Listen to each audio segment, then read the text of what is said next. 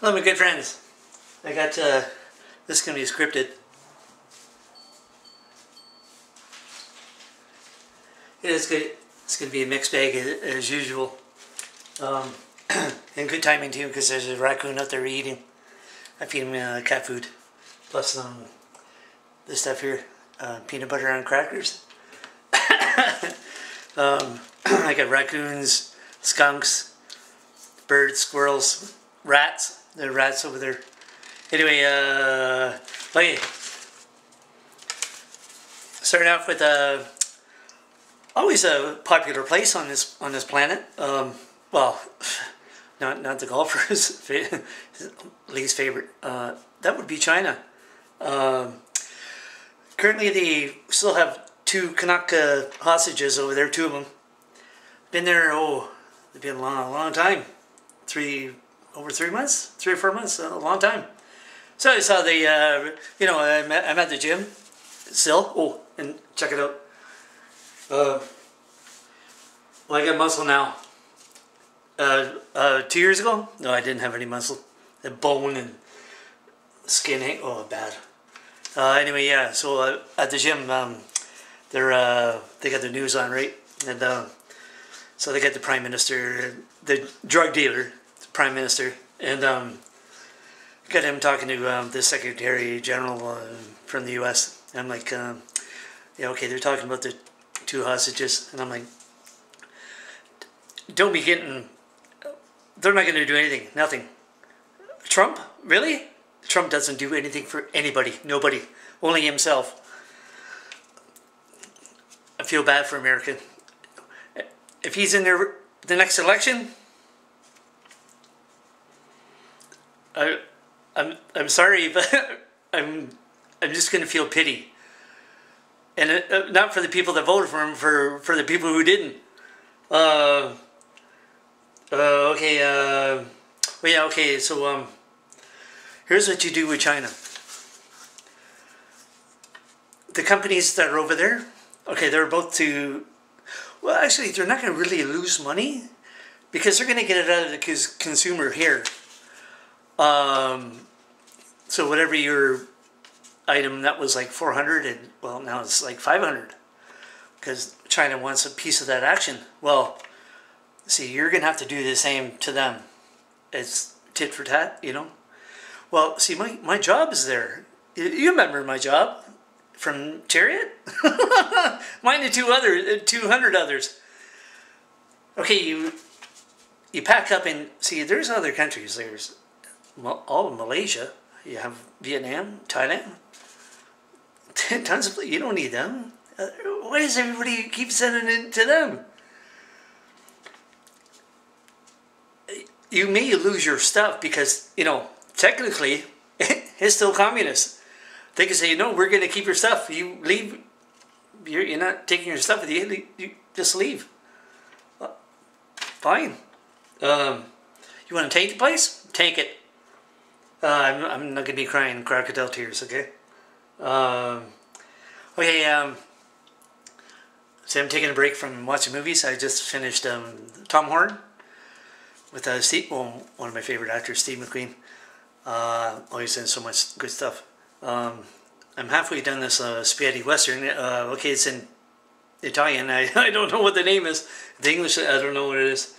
Uh, okay, the uh, Lotto Max they showed the six million dollar winner in Richmond, which is over there.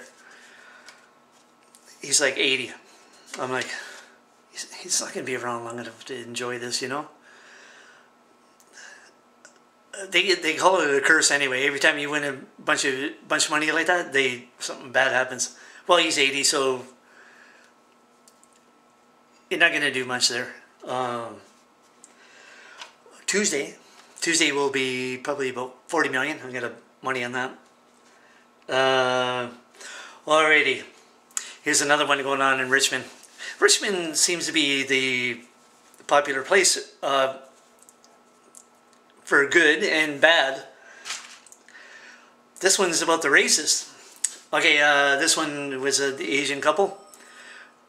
They bumped their car. It was like rubbing up against. They just smashed into it there's bigger things going on in this planet. just, just be lucky you're not in America with, with, with Trump going on. You got, you got issues. uh, we have a drug dealer prime minister. Uh, um, he, he's not totally finished with the, the drugs.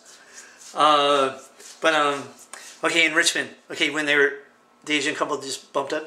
Okay, the, when some people probably seen this on YouTube. Anyway, uh, actually, I'm going to dig it up and post it on Spin. Oh, and Facebook too. And um, uh, okay, so the one she comes up to her car and she gets all bent out of shape. Calling, oh, I don't want to get into it. I'm just going to get bent out of shape. Um,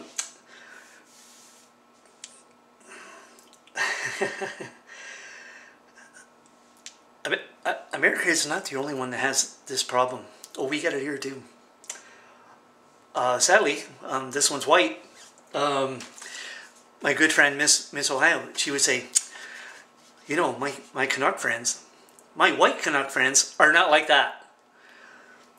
Um, uh, okay, sticking with um. Oh, no, no, no. Um, the spare in Richmond. Okay, I've said this many times.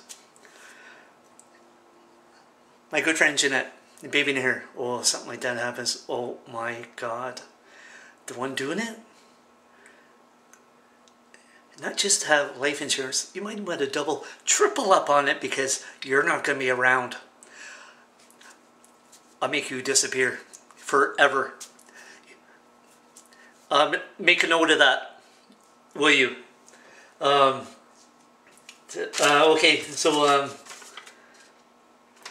sticking with uh, Canucks. There's a, a bunch from this province, apparently. Oh, and I guess rest of the country, but mainly here because it's close. They go down to Seattle. Okay, this Ken Jennings guy, group, all I saw this on, on MSN News. Um, so he says, oh, these guys are all rude and everything. I'm like, this is a Jeopardy champion, okay? She just saw the comments and they're like, uh, well, you know, um, there's 20,000 at that game, but, you know, um, maybe you guys don't like your economy boosted. And I'm like, okay, how about uh, all the Canucks stay away from Seattle?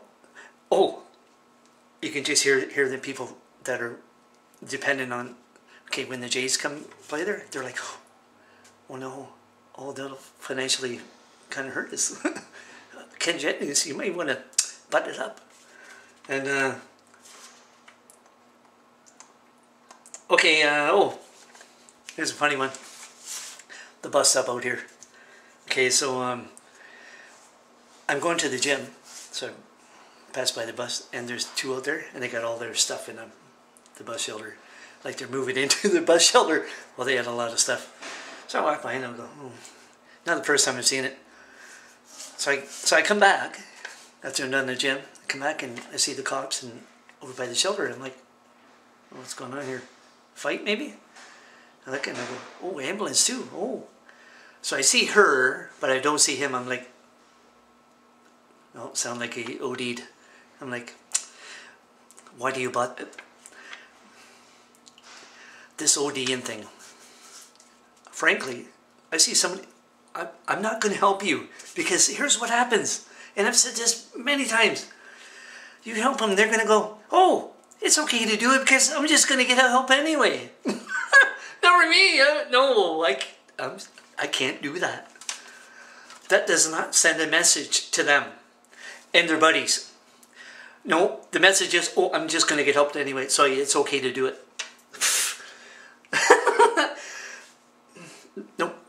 Get the get those blinders off, okay?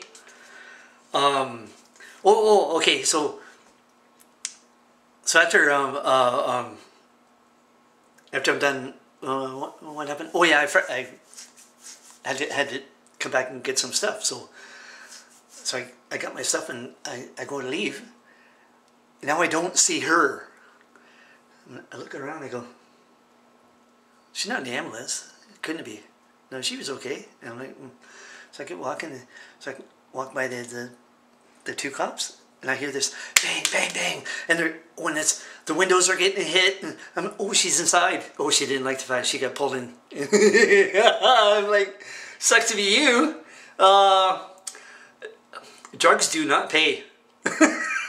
Even when your buddy gets uh, ODing. Oh well. And uh, okay. Uh,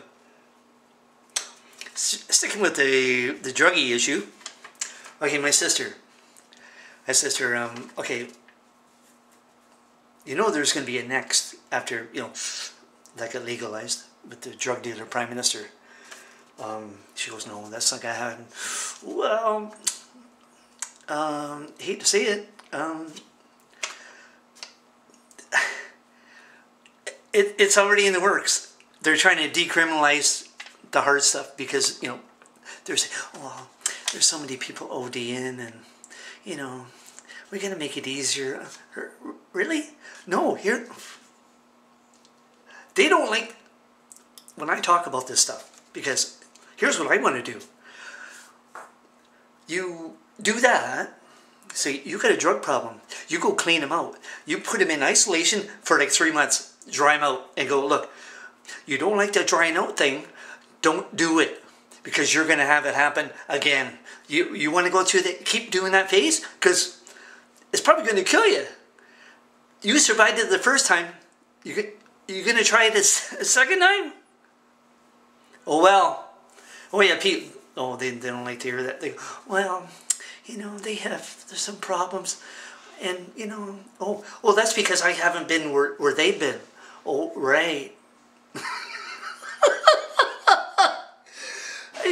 I mentioned it in Famous Island. She goes, oh my God. I says, uh, apparently they, well, okay, besides the OD, you, maybe you've been in a coma too. Longer than three weeks? Really? Have you? um, okay, so um, the rainforest thing. Okay, I saw that on a news. No, and we take it. This is a good one. Okay, so the the guy running the country says, well, see, these environmentalist guys purposely set this fire to make me look bad. Maybe.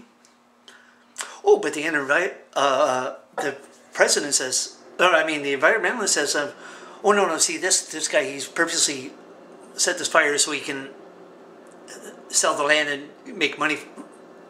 Really? Oh, oh, it's not done there.